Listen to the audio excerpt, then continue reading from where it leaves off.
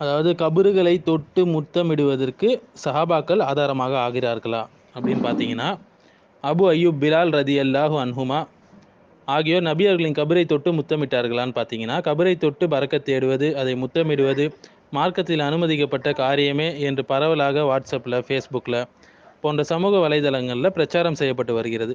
அதற்கு அவர்கள் ஆதாரமாக அபு அய்யூப் அல் அன்சாரி அவர்களினது பிரா பிலால் ரதி அல்லாஹன்ஹூ அவர்களுடைய சம்பவத்தை முன்வைக்கிறாங்க. பொதுவாக கபரு பக்தி கொண்டவர்கள் அவர்களது கருத்துக்களை நியாயப்படுத்துவதற்கு பலவீனமான இட்டுக்கட்டப்பட்ட செய்திகளையே முன்வைத்து வருகின்றனர் என்பது பொதுமக்களுக்கும் அறிந்த ஒரு பொதுவான விஷயமாகும்.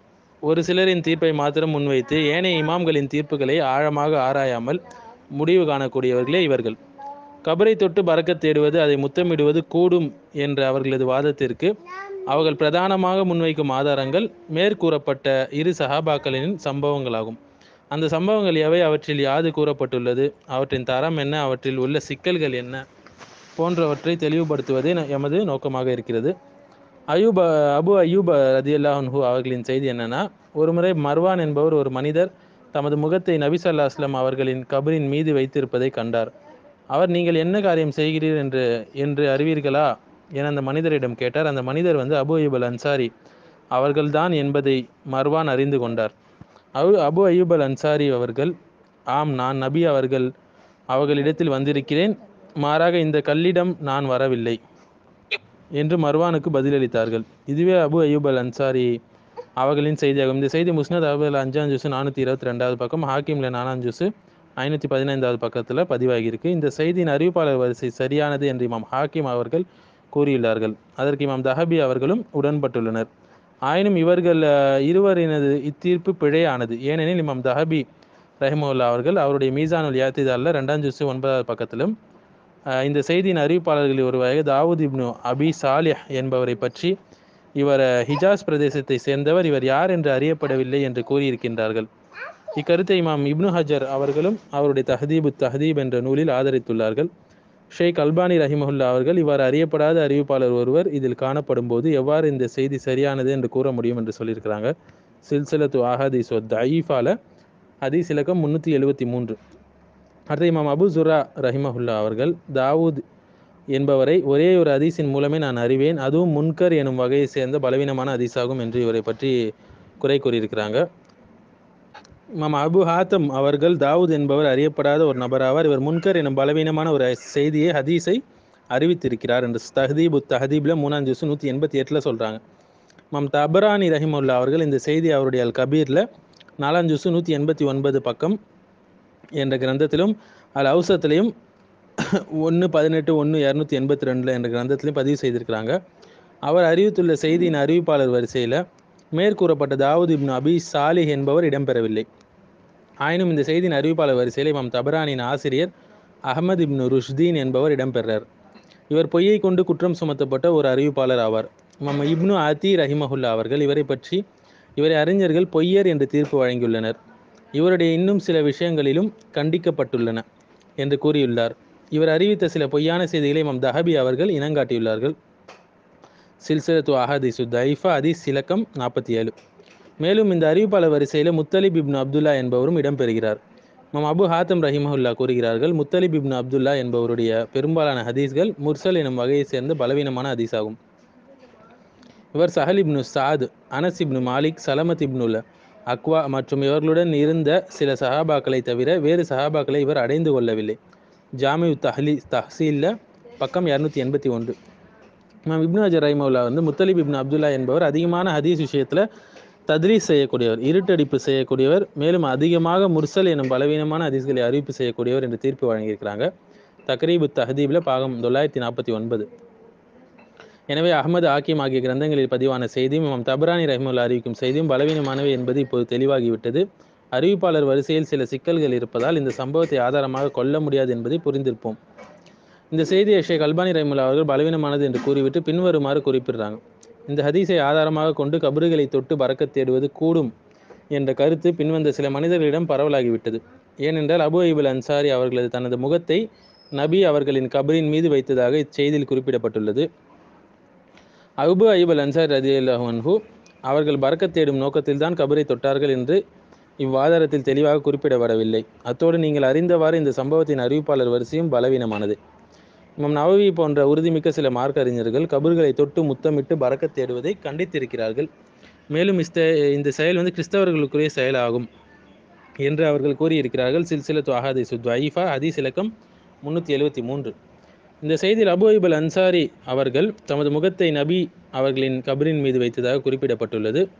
இந்த ஹதீஸ் பலவீனமானது என்பதற்கும் இதுவும் ஒரு எடுத்துக்காட்டாக இருக்குது எனவே முகத்தை கபரின் மீது வைக்கின்ற அளவுக்கு நபி அவர்களின் கபரு உயர்ந்திருக்கவில்லை.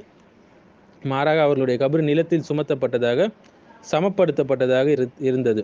எனவே அவர்களது கபரை யாராவது முத்தமிடுவதாக இருந்தால் சுஜூத் செய்தவராகவே முத்தமிட முடியும். சஹாபாக்கள் நபி சல்லா அஸ்லம் அவர்களின் கபருக்கு சஜ்ஜா செய்துள்ளார்கள் என்று எவராலும் கூற முடியுமா?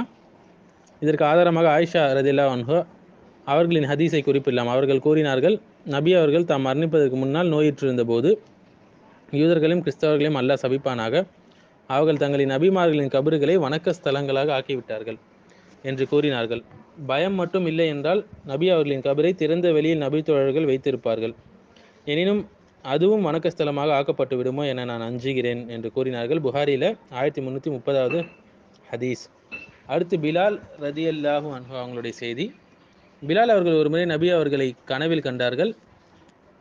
நபி அவர்கள் பிலால் அவர்களிடம் பிலாலே ஏன் என்னை சந்திக்க வராமல் தூரமாக இருக்கின்றீர்கள்? என்னை சந்திக்க உங்களுக்கு நேரம் வரலையா? என்று கேட்டாங்க. பிலால் அவர்கள் கவலைப்பட்டவராக விழிப்புணர்வுடன் காணப்பட்டார்கள். பயந்தவராக நபி சல்லாஸ்லம் அவர்களை பார்க்க புறப்பட்டார்கள். தனது வாகனத்தின் மீது ஏறி மதினாவை நாடி சென்று நபி அவர்களின் கபரை சந்திக்க சென்றார்கள். அவர்களுடைய கபருக்கு அரு அருகில் பிலால் அவர்கள் அழத் தொடங்கினார்கள். தமது முகத்தை கபரின் மீது வைத்து கொண்டே இருந்தார்கள். அப்போது ஹசன் ஹுசைன் அவர்கள் அங்கு வந்தார்கள். அவ்விருவரையும் பிலால் அவர்கள் கட்டி தழுவி முத்தமிட்டு கொண்டார்கள். பின்பு அவர்கள் இருவரும் பிலாலே நபி அவர்களுக்காக நீங்கள் பள்ளிவாசலில் கூறிய அதானை செவிமடுப்பதற்கு எங்களுக்கு ஆசையாக உள்ளது என கூறினார்கள். பிலால் அவர்கள் அதற்கு சம்மதித்து பள்ளிவாசலின் மேல் பகுதிக்கு ஏறி இதற்கு முன்பு அவர்கள் அதான் கூறிய இடத்தில் நின்று அதான் கூற ஆரம்பித்தார்கள். அவர் அல்லாஹ் அக்பர் என்று கூறியபோது மதினா நகரம் நடுங்க தொடங்கியது. மேலும் அவர் அஷன் லாயிலா இல்லா என்று கூறியபோது முன்பை விட அதிகமாக மதினா நடுங்க தொடங்கியது. அவர் அஷன் முகமது ரசுல்லா என்று கூறியபோது திரைக்கு அப்பால் இருந்த கன்னி பெண்கள் வீடுகளை விட்டும் வெளியேறி வந்தனர். அவர்கள் நபி அவர்கள் மீண்டும் கபரிலிருந்து எழுந்து விட்டார்கள் என்று கூறிக்கொண்டனர். நபி அவர்களுக்கு பிறகு இந்த நாளை விட வேறு எந்த நாளிலும் மதினாவில் அழக்கூடிய அதிகமான ஆண்களோ பெண்களோ காணப்படவில்லை. இந்த சம்பவம் வந்து உமர் அவர்களின் ஆட்சி காலத்தில் நடைபெற்றதாக பதிவாயிருக்கு. மம் இப்னு அசாக்கிர் ரஹிமஹுல்லா அவர்கள் இந்த செய்தியை தனது தாரிக் திமிஷ்க் என்ற நூலில் பதிவு செய்கிறாங்க மம் இப்னு அப்துல் ஹாதி ரஹிமஹுல்லா அவர்கள் அசாரிமுல் முன்கி என்ற தனது நூலிலும் பின்வருமாறு கூறியுள்ளார்கள். இது ஒரு அபூர்வமான செய்தியாகும். மேலும் முன்கர் எனும் வகையை சேர்ந்த பலவீனமான செய்தியாகும். இதனுடைய அறிவிப்பாளர் வரிசையில் அறியப்படாத ஒரு நபர் இடம்பெறார். மேலும் இந்த அறிவிப்பாளர் வரிசையில் துண்டிப்பு ஏற்பட்டுள்ளது. பக்கம் இரநூத்தி முப்பது. மேலும் இமாம் அவர்கள் இதனுடைய அறிவிப்பாளர் வரிசையில் வரக்கூடிய இப்ராஹிம் இப்னு முகமது என்பவர் ஹதீஸ்களை எத்தி வைப்பதில் அறியப்படாத ஒரு நபர் என்றும் ஹதீஸ்களை அறிவிப்பதில் பிரசித்தி பெறாத ஒரு அறிவிப்பாளர் என்றும் விமர்சிச்சிருக்கிறாங்க. இப்ராஹிம் இப்னு முகமது என்பவர் அறியப்படாத ஒரு நபர் என்று இமாம் தஹபி ரஹிமஹுல்லா அவர்களும் சொல்லியிருக்கிறாங்க. மீசானுல் திதால் ஒன்னாம் ஜூஸ் அறுபத்தி நாலாவது பக்கம். இமாம் இப்னு ஹஜர் அவர்களும் அல் லிசான் என்ற நூலில் இவர் அறியப்படாத ஒரு அறிவிப்பாளர் ஆவார் என்று விமர்சிச்சிருக்கிறாங்க. ஒன்னாம் ஜூஸ் நூற்றி ஏழாவது பக்கம். மேலும் இதே நூலில் இமாம் இப்னு ஹஜர் அவர்கள் இந்த சம்பவம் இட்டுக்கட்டப்பட்டது என்பது மிகவும் தெளிவானது என்று கூறியுள்ளார்கள். ஒன்னாம் ஜூஸ் நூற்றி ஏழாவது பக்கம். மேலும் நபி அவர்களின் கபரு ஏனையோரின் கபறுகளைப் போன்று வெளிப்படையாக இருந்தது. விரும்பியவர்கள் அதனை பார்வையிட முடியும் என்பதை இந்த சம்பவம் உறுதிப்படுத்துகிறது. இந்த சம்பவம் ஒரு இட்டுக்கட்டப்பட்ட செய்தி என்பதை இது மேலும் உறுதிப்படுத்துகிறது. ஏனெனில் நபி அவர்களின் கபரு ஆயிஷா ரதி அல்லாஹ் அன்ஹா அவர்களுடைய மரணத்திற்கு பின்பும் அவருடைய அறைக்குள் தான் அமைந்திருந்தது. ஆயிஷா அன்ஹா ரதி அல்லாஹ் அன்ஹா அவர்களினது அனுமதியின்றி யாருக்கும் அந்த அறைக்குள் நுழைய முடியாது. உமர் அவர்கள் மரண தருவாயில் இருக்கும்போது நபி அவர்களுக்கும் அபுபக்கர் அவர்களுக்கும் அருகில் தாம் அடக்கம் செய்யப்பட வேண்டும் என்று விரும்பினார்கள். அதற்கு ஆயிஷா அவர்களிடம் அனுமதி கேட்க அவர்களும் அனுமதி வழங்கினார்கள். ஹாக்கிமில் வரக்கூடிய மூணாம் ஜூஸ் தொண்ணூற்றி மூன்றாவது பக்கம். ஆயிஷா ரதி அல்லாஹா அவர்கள் உமர் அவர்கள் அவ்விடத்தில் அடக்கம் செய்யப்பட்ட பின்பு வெக்கத்தின் காரணமாக ஆடையால் தம்மை மறைத்தவர்களாகவே அந்த அறைக்குள் நுழைவார்கள். ஹாக்கிமில் வரக்கூடிய நாலாம் ஜூஸு ஏழாவது பக்கம். இந்த செய்திகள் எல்லாம் வந்து நபி அவர்களின் கபரு அறைக்குள் இருந்ததாகவும் விரும்பியவர்கள் அதனை பார்வையிட முடியவில்லை என்பதையும் எமக்கு தெரிவிக்கின்றன. இவ்வாறு இருக்கும்போது பிலால் அவர்கள் எவ்வாறு எவருடைய அனுமதியுமின்றி நபி அவர்களது கபருக்கு தன் இஷ்டப்படி வந்திருக்க முடியும்? எனவே இந்த சம்பவம் கபரு பக்தி கொண்டவர்களால் இட்டுக்கட்டப்பட்டது என்பதை தெளிவாக